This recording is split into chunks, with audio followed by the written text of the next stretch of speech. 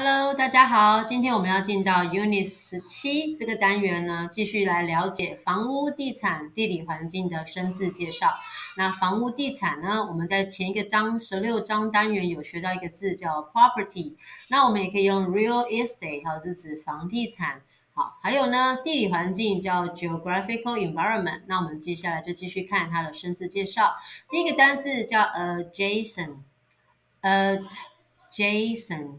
Adjacent 这个字呢，我们可以先用它的音来记，用音来做连接。adjacent 的音啊，很像我们中文的儿接先，对不对？儿接先，adjacent，儿接先，我们用儿子接先这三个字来记。如果小朋友他是住在学校附近的，是临近学校的，他是临近靠近学校的儿童会被先接走 Adjacent，。所以呢，会被先接走，也表示它是 next to，它是相连接的、比邻的意思。好，adjacent 这个字，请你用谐音去记它的意思哦。adjacent 这个字的课本例句是：Mr. Jones and to purchase that two-story house, which is adjacent to the beautiful park.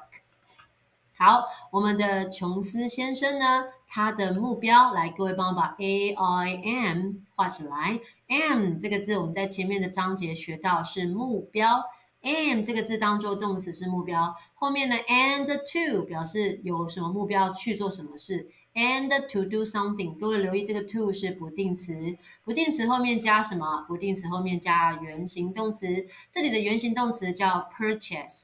Purchase. Mr. Jones and did the two purchase. 所以我们的琼斯先生他本来 and 他的原本打算目标就是要 to purchase 去购买一个 two story。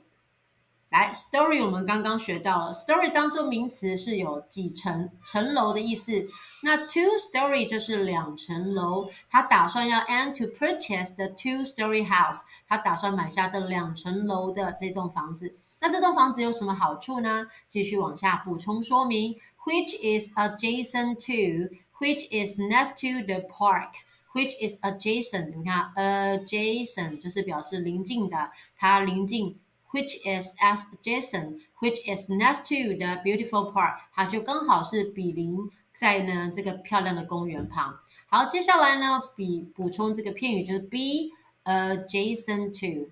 Be adjacent to, be adjacent to 就是表示 A 跟 B 两个人之间的位置是相比邻的，可以换成 be next to, next to 在什么的旁边。好，接下来第二个单词叫做 attic, attic。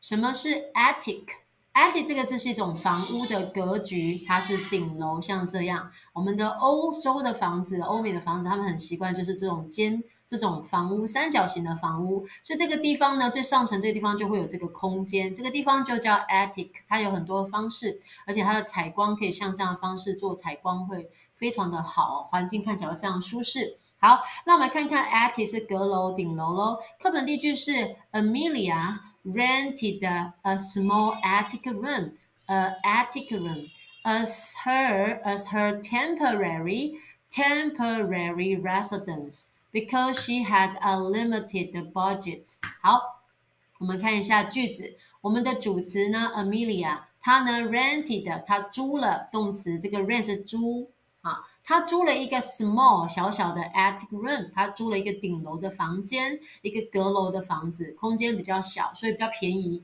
他租了这个 small attic room，他租了这种阁楼房，把这个房子呢，as 作为作为他的 temporary，temporary 是暂时的，resident 是名词叫居所，所以呢，暂时的居住地叫 temporary resident。他把它作为是一个 temporary resident，一个暂时的居所。原因是因为呢，为什么要租这么小的 attic room 呢？因为 because she had a limited，因为它有一个 limited，limit 这个字叫限制，l i m i t 是限制，字尾加 e d 变成形容词叫做被限制的，因为它有一个 limited 的一个限制的有限的 budget 预算，所以它只能够买 small active room。再来呢，我们看到单字有 temporary 暂时，去 y 加上 i l y 就是副词 temporary。那它的名词相反 permanent 永久的。再来呢，动词 reside 是居住，把这个字呢字尾改成 e n c e 结尾，就变成了名。